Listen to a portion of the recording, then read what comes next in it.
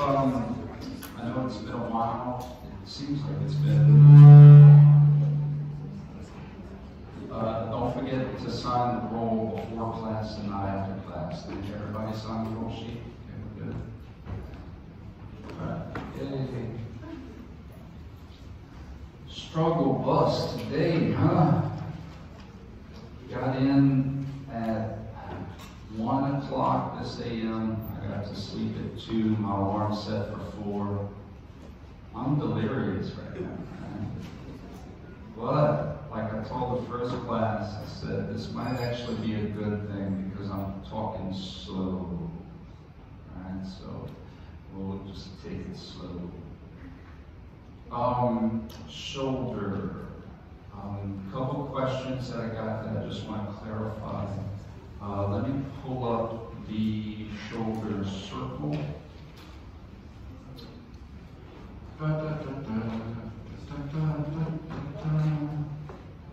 So look at your shoulder circle, and I just want to again clarify, even though we talked about it last class, again, just want to make sure we're all the same. The way I want you to think of the clavicular fibers do not think of it as only a shoulder flexor. That's not the way to look at it. The way I want you to look at it is the pectoralis major, all of the fibers of the fan. Just the pectoralis major, all of those fibers in anatomical position pull this way in a direction of adduction, this way in the direction of internal rotation, your clavicular fibers are part of that fan. So the clavicular fibers pull in the same direction as all the other fibers, except only the clavicular fibers pull in the direction of flexion. So don't look at it as the clavicular fibers are only shoulder flexors. Look at it as those clavicular fibers are part of the whole fan that are pulling here, pulling there, but oh, they're the only fibers that pull.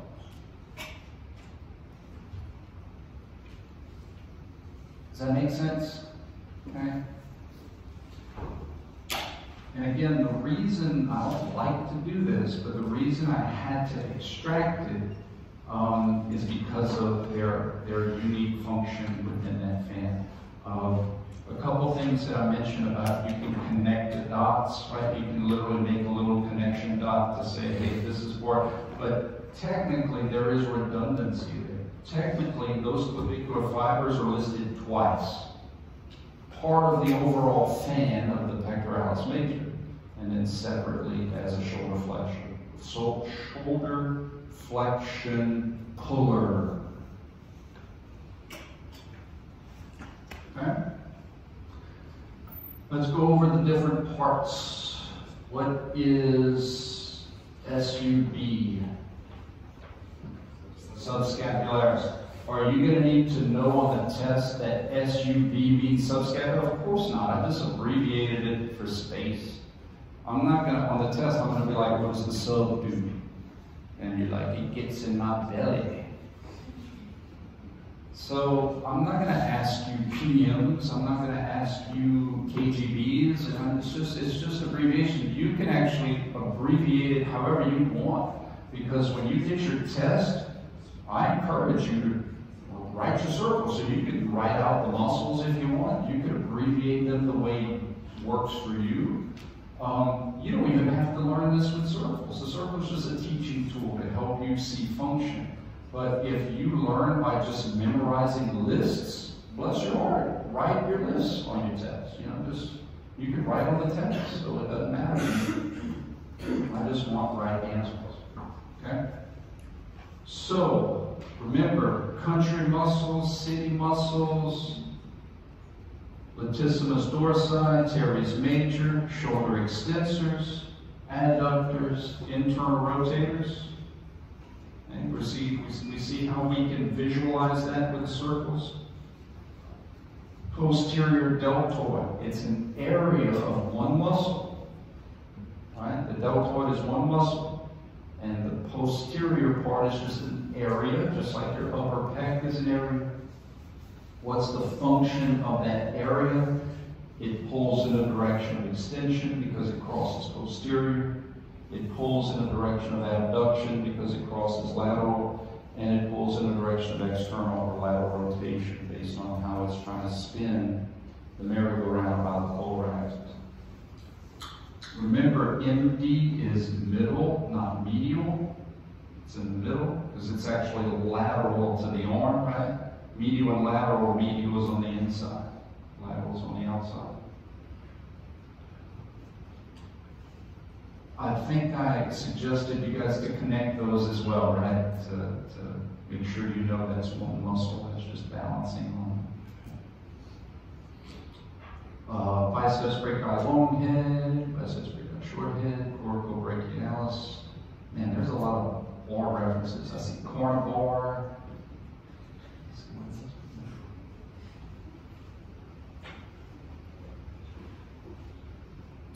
How about we do some, well, if there's no questions about circle layout or function or stretching, right? Like if the latissimus dorsi is a shoulder extensor, I need to lengthen it by flexing the shoulder, right? And if it's an adductor, I need to abduct. If it's an internal rotator, I need to external rotate. All, all of those kind of things, I think by now should be three foot plus.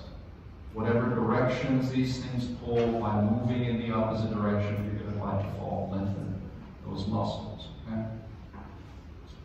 So let's do some uh, practice examples. Okay. How about we do this?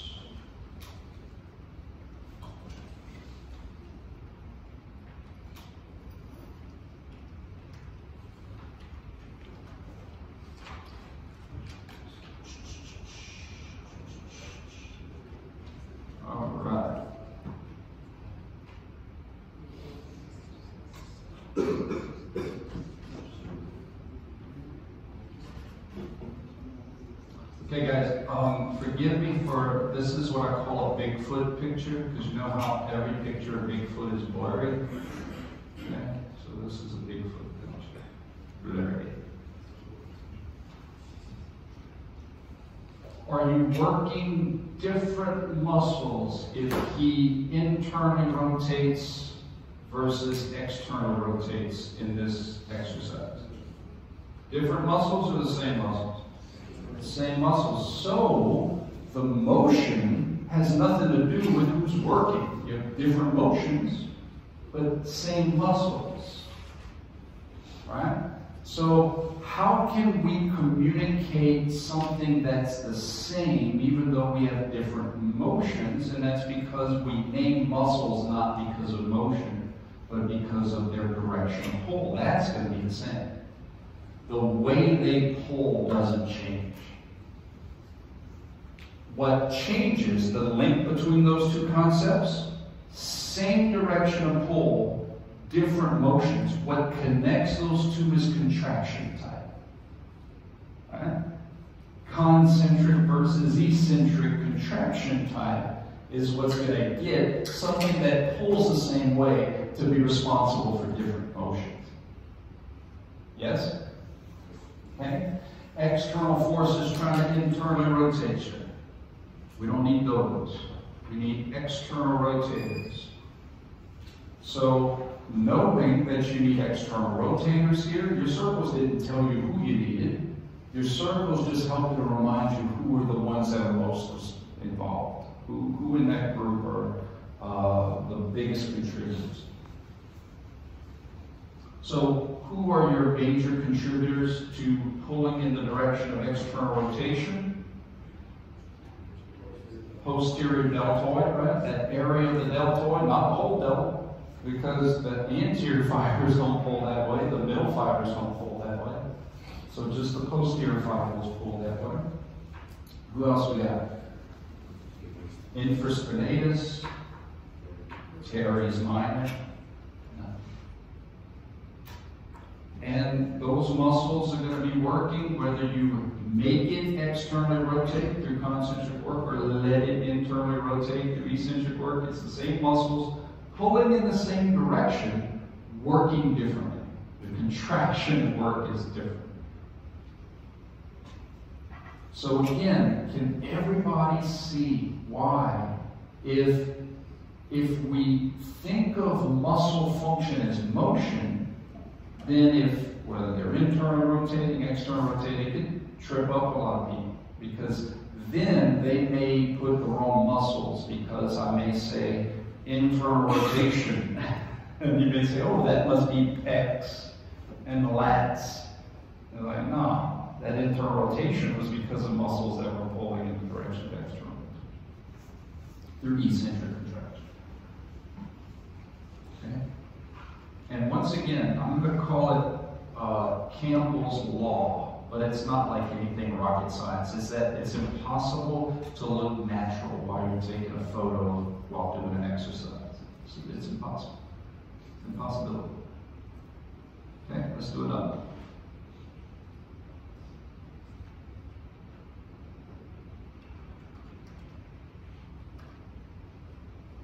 Ooh, look at that guy, Dr. Octopus. Okay, Tim, Tim Tebow working on.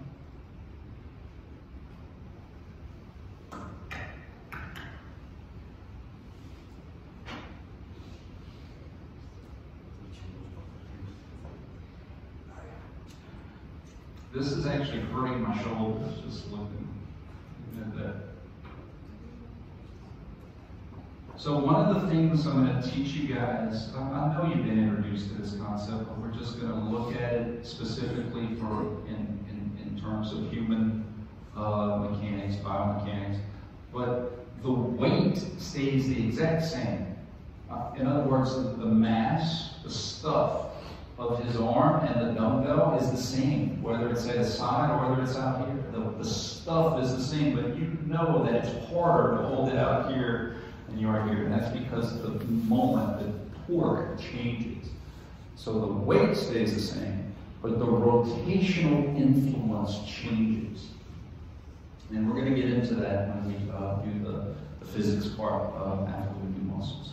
But, but again, this should just kind of be common sense, where you may not be able to explain it in terms of numbers, but you just kind of know that there's something harder about the stuff out here than the stuff.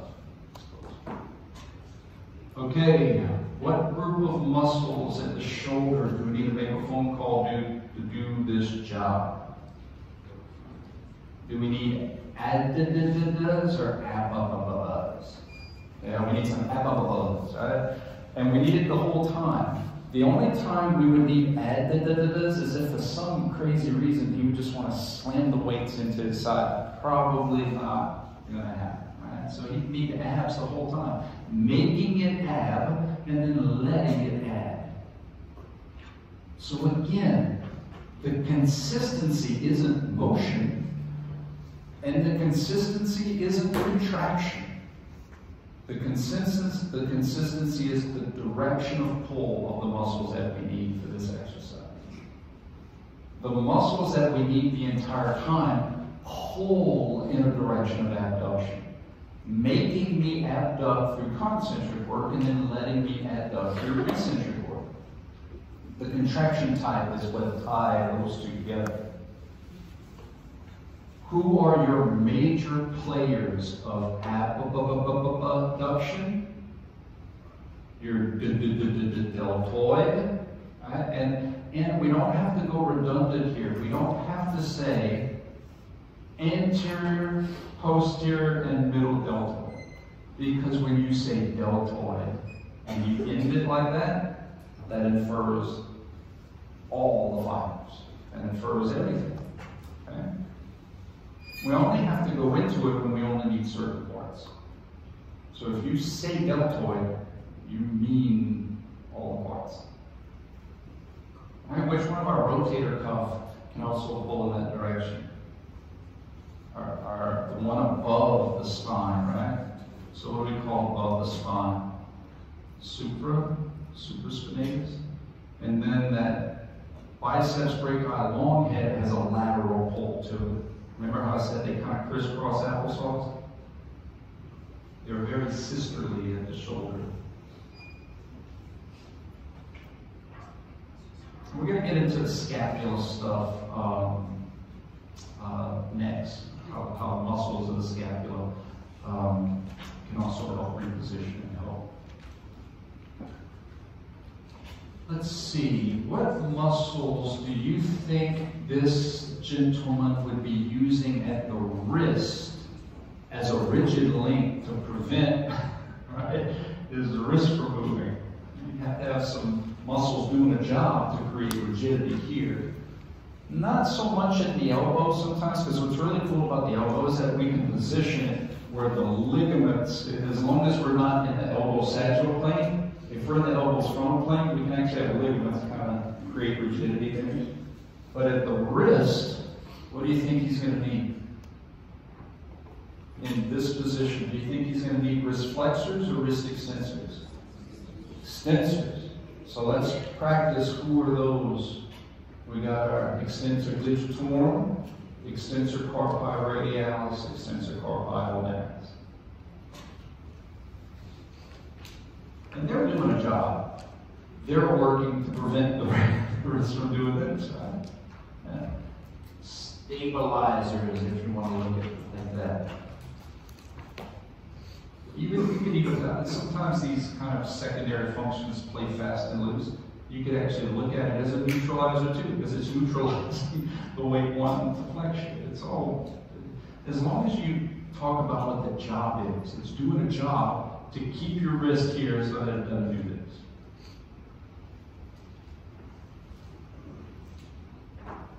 At ease, sir. Okay, how about um, this exercise?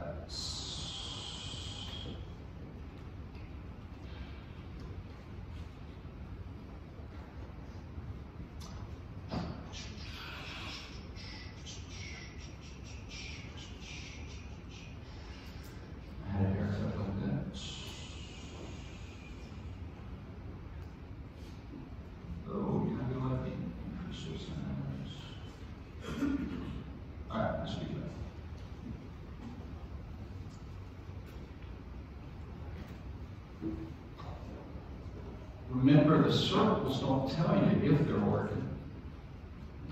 That's what that's what 310 was. But the circles help to remind you who is working once you identify the group that is doing the job, right? So, external force is trying to flex or extend your shoulders. Extend.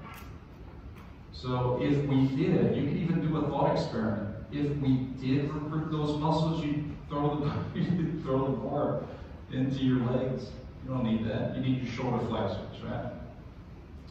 Um, I am not going to get into, guys, the rabbit hole goes kind of deep in biomechanics. It, it can go deep. So, for the context of this test, man, we got to start somewhere. So I'm not going to give you the, remember we talked about uh, uh, midway muscles and reposition. I'm not going to be like, well, because I'm internally rotated, now my middle delt can be a shoulder flex. It, it, it gets to that level, But we're, we're, we're just trying to keep it simple. The only midway muscles, I told you how I'm, I'm introducing you to those concepts. But all I'm asking you to do is say, hey, I need some shoulder flexors. Which ones did Campbell give me uh, that's going to contribute pulling in the direction of shoulder flexors? So don't, don't overthink it. It's just going to be the ones I held you accountable for and the ones that I told you I'm going to be held accountable for. Do I introduce you to a few midway muscles? Yes, the obvious ones. The ones that are super duper obvious because I know many of you are going to go on and have to learn the other types of midway muscles. So I just want to introduce you to those concepts with some obvious ones. Okay? So the major ones, and listen, at the end of the day, this is this is true. Always the priority, the biggest contributors are always your country muscles. that should make sense because the country muscles are the bigger muscles. So if you're ever like, well, you know, yeah, the anterior deltoid, that's a country muscle, and the clavicular pec, that's a country muscle. Man, this little biceps great guy, short head, and that coracoid man, that doesn't look like a lot of meat. And you're right.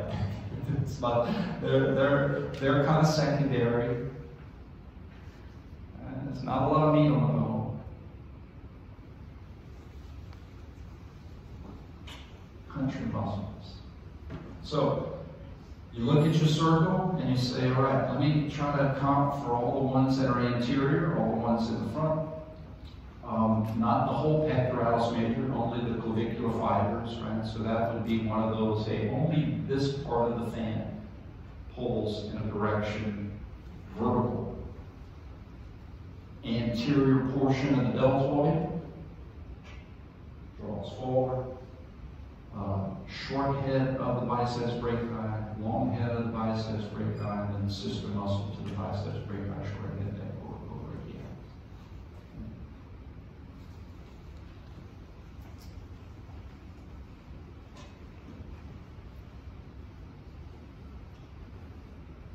This guy reminds me, anybody ever watch the new, bless you, anybody ever watch the new Harry Potter movies?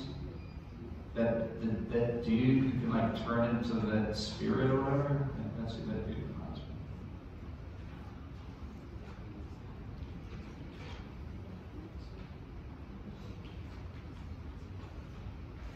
Okay, Brian, let's see what else we got.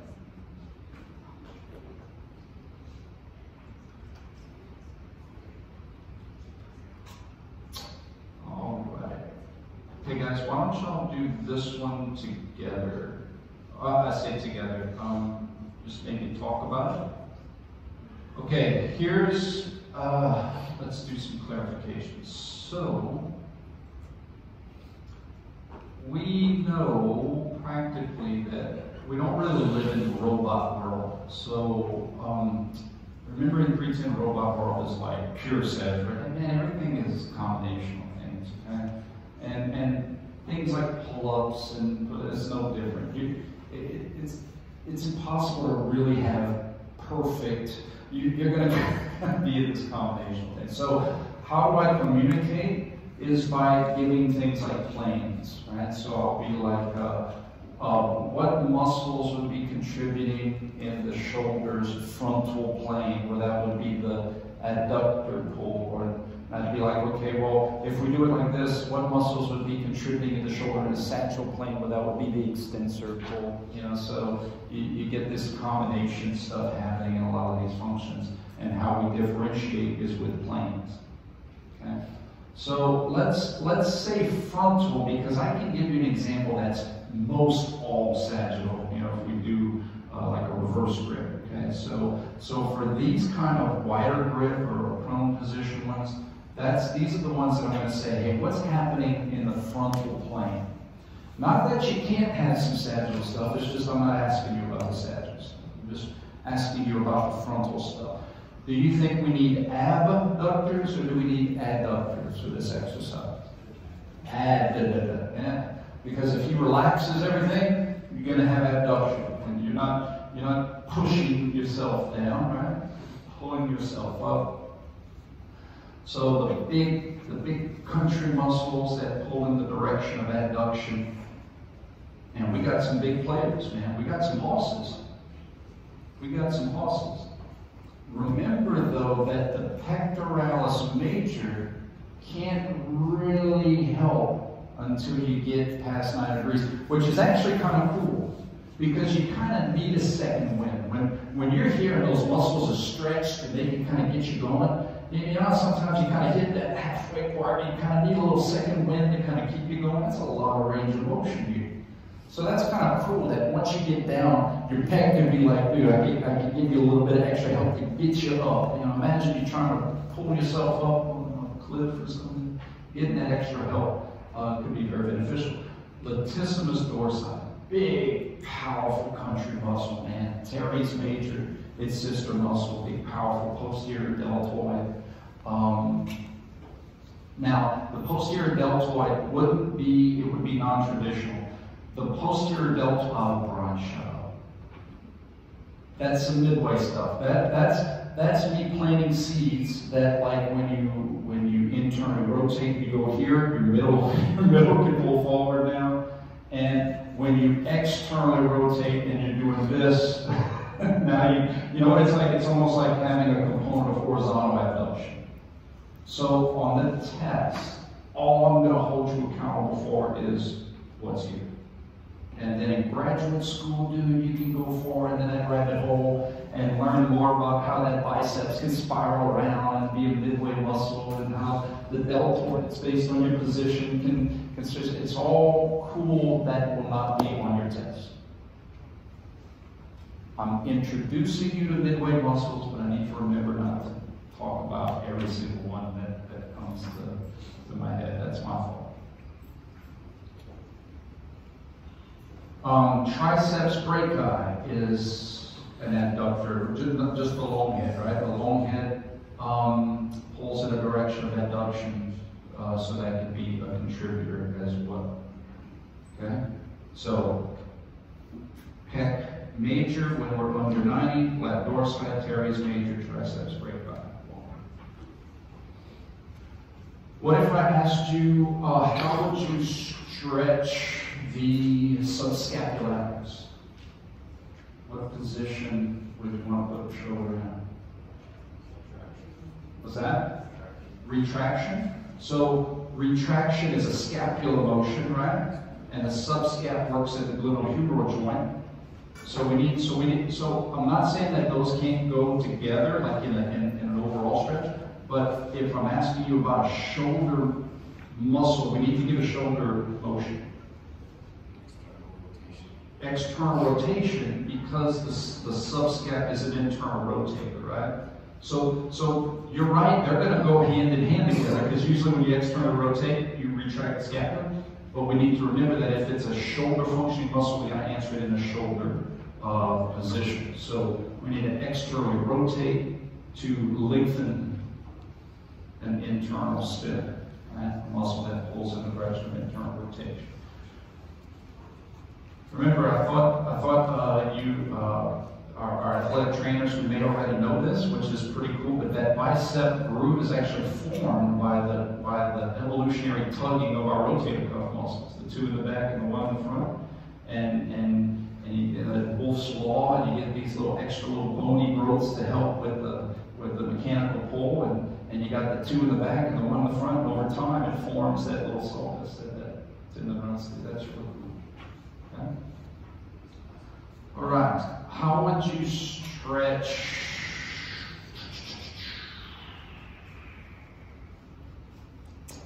Um, how would you stretch the teres major? Teres major.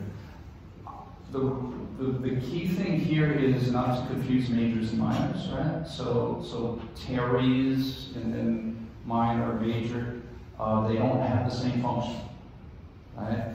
The minor is here, major is there. Internal rotator versus an external rotator. Actually, the major is because it's pulling on kind of the neck, it actually has shoulder function uh, at the anterior, posterior bilateral axis. The reason the infraspinatus and teres minor don't have function in the sagittal and AP is because they're just on the ball. They're, they're pulling on the axis themselves. But when you get down to the neck, then you can start pulling in a direction of adduction and extension and stuff. But when you're pulling on the head itself, the only axis you cross forward. Okay? So that's a common missed one because teres is the same, but they don't have the same function, they have different functions. Okay?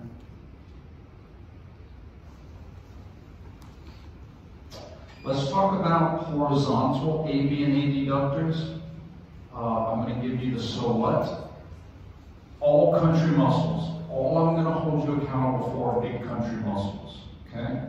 So imagine repositioning yourself here and saying horizontal adductors want to pull this way, and horizontal abductors want to pull that way.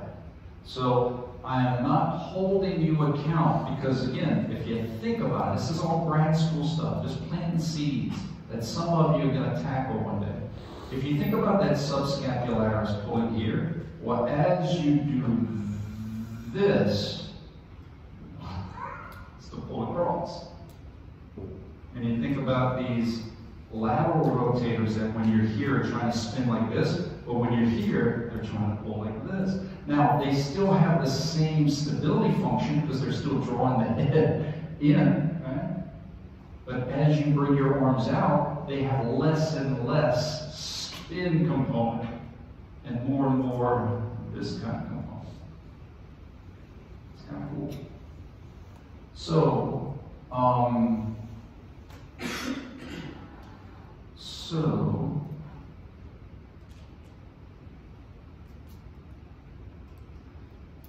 horizontal adductors, all I'm going to hold you accountable for. Now, this is one where you can draw a asterisk, you can do color coding. Remember, the functions of these are anatomical, so this is outside of anatomical. You can almost look at it as, as kind of a midway thing, where when I'm in a new position, these are, but all I'm holding you accountable for is horizontal adductor, pectoralis major, because if you think about it, when we're at 90 degrees, uh, uh, everything's trying to pull you, everything's trying to pull your humerus to your sternum.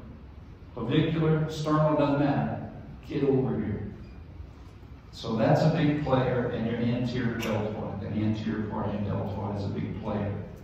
I'm not going to worry about, yeah, you got a coracoid, your bicep, those little city muscles. We're just, I'm just going to give you the so what? Because we're venturing away from anatomical. So when we start to venture away from anatomical, I don't want to overload you uh, with too many. Just give you the so what's. The so what's coming back should be pretty obvious. Your posterior deltoid, your latissimus dorsi, and your teres major. I, I can't give you the lat without the teres major because they pognatas. They pognatas.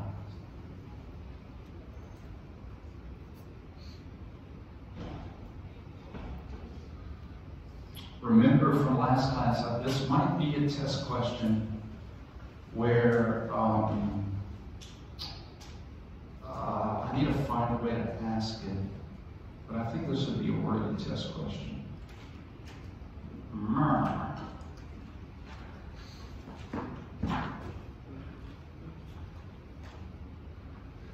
Right, remember we talked about this in class? And uh, let me pull it up here. So again, we learn things in robot world, but we don't live in robot world, man. We live in a combination of, of, of the etch-a-sketch knobs always moving together. So uh, yes, part of it is you don't have to you don't have to do as much work because you don't have to go as far down, therefore you don't have to go as far. But the bigger thing here is that in terms of shoulder motion, you're not going pure horizontal adduction anymore. You're doing a component of horizontal adduction and a component of regular adduction. You're, you're going across and down. And the pectoralis major can help you go across and down. And the latissimus dorsi and teres major can help you down.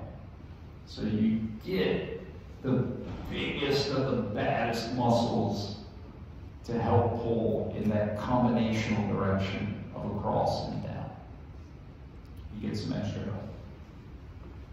Especially anytime you can get the lat to do something, that's the odds are in your favor.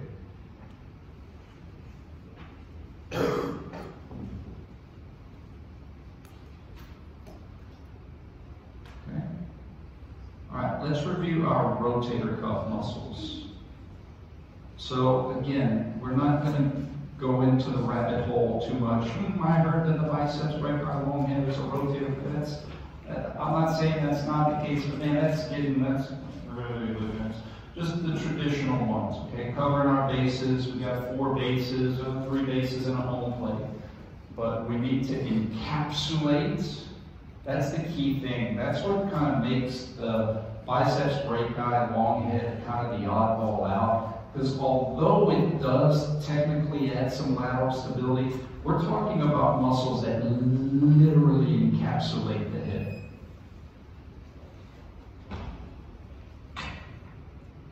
Okay. Subscap in the front, infraspinatus teres minor in the back, supraspinatus over the top.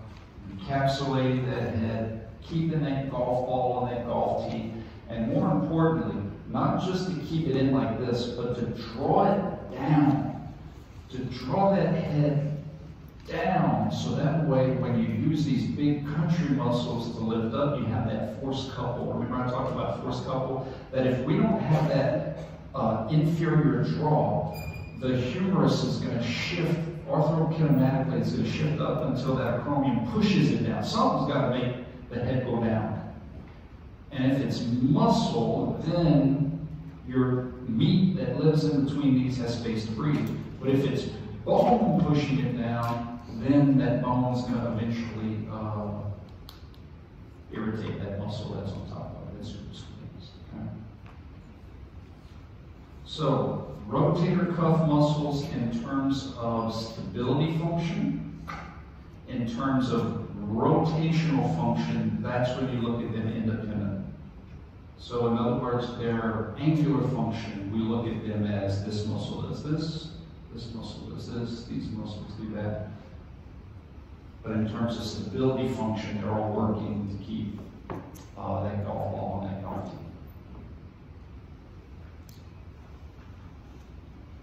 Okay?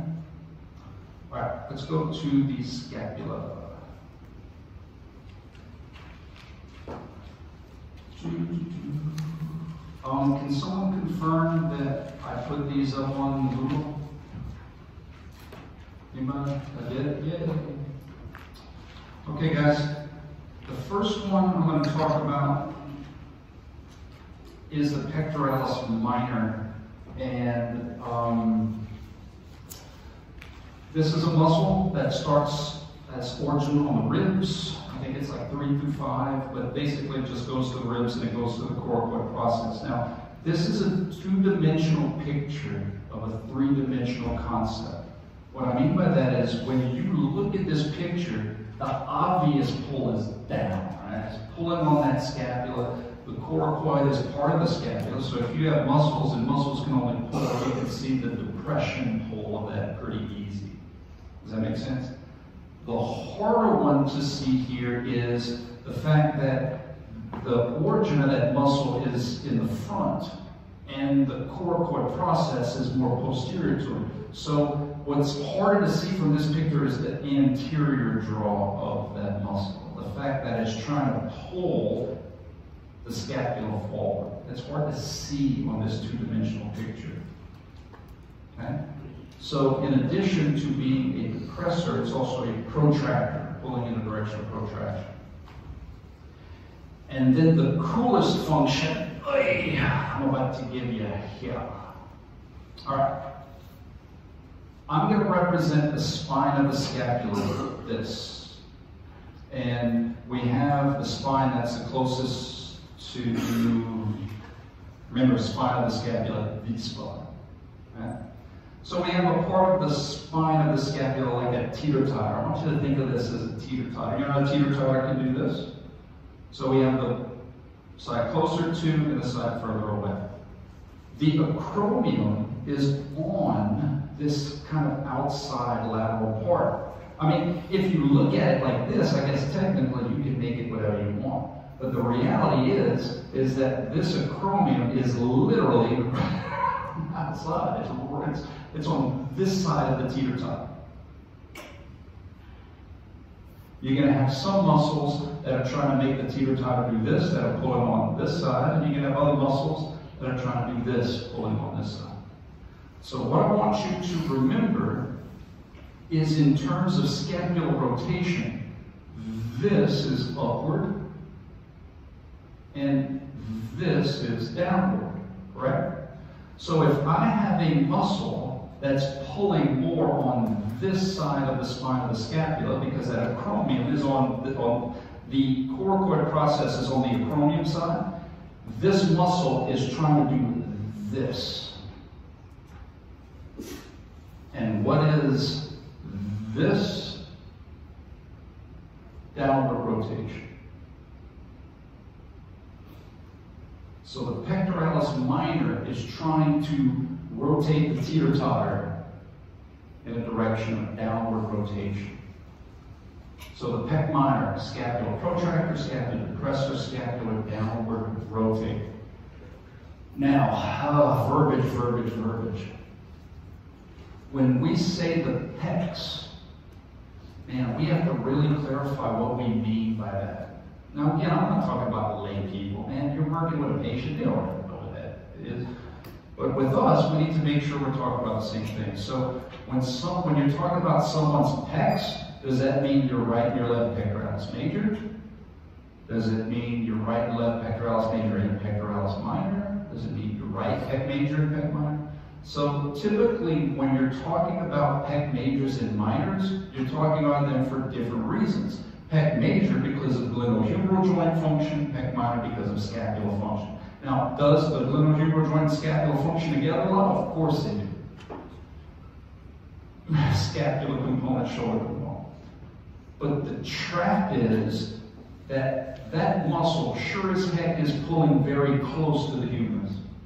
And so it's easy to think that it's a shoulder functioning muscle, especially when we think of the pecs and we say working the pecs, and you say, well, what does the pecs mean? Pec major and minor. Well, the major works in the shoulder, so the minor must work in the shoulder. You see how it can kind of walk you down a path of oopsies. Pec major crosses the shoulder, functions in the shoulder. Pec minor does not. Pec minor functions at the scapula only. Cool? What is its function at the scapula? Depressor, protractor, down rotate. Now, one thing I didn't do, I apologize, go to your scapular circle because this is the one circle that is not a traditional cross section. And there's a reason for it. Remember in 310, um, the shoulder girdle, which of the following doesn't belong? Apple, banana, strawberry, sledgehammer, sternoclavicular joint, acromioclavicular joint, glenohumeral joint, scapulothoracic articulation. And the way the scapula fits back there, held together with negative pressure and muscles, and because most of the muscles that influence the scapula are pulling on the scapula, and the motions of the scapula orbiting the ribs is how we give perception to scapular motion, we are going to visualize this, imagine, this is actually one that we visualize just like it is up on the board. In other words, we are literally looking at this.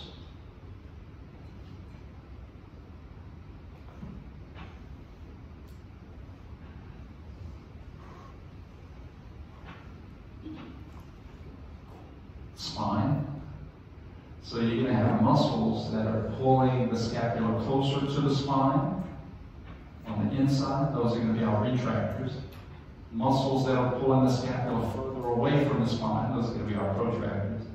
muscles that are pulling in a direction of elevation, muscles that are pulling in a direction of depression, muscles that are pulling in a direction of upper rotation, downward rotation.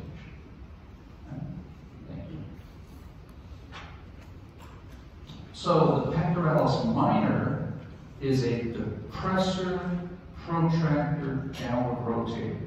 I learned this stretch from a buddy of mine who's a sport chiropractor. And uh, taught me this stretch for the pec minor, or, and it's, but if you think about it, the my arms above my head, so I have upper rotation of the scapula, so it's lifted. Then I'm trying to use the wall to retract my scapula, so it's a protractor. And then, in addition to the upper rotation, I'm trying to elevate my scapula so it's being stretched as a depressor, as a protractor, as a downward. So, in other words, knowing the functions can help you create some cool positions to try to optimize the movements. Next class, we're going to talk about the infamous serratus anterior. Love that muscle. That's a cool muscle. All right, guys, any questions? It feels like a Monday. It's not a Monday. It's a Friday. No school tomorrow. You gotta do?